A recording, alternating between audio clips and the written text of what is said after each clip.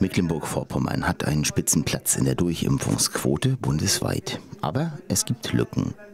Die AOK Nordost hat am Montag in Schwerin zur Reihe AOK Forum Live eingeladen, um auszuloten, wie es möglich ist, die Impfquote im Land zu erhöhen. In ihrem Vortrag wies die Abteilungsleiterin im Landesamt für Gesundheit und Soziales, Dr. Martina Littmann, darauf hin, dass hohe Impfquoten nicht nur die Einzelperson schützen, sondern auch eine Ausbreitung gewisser Krankheiten verhindern können.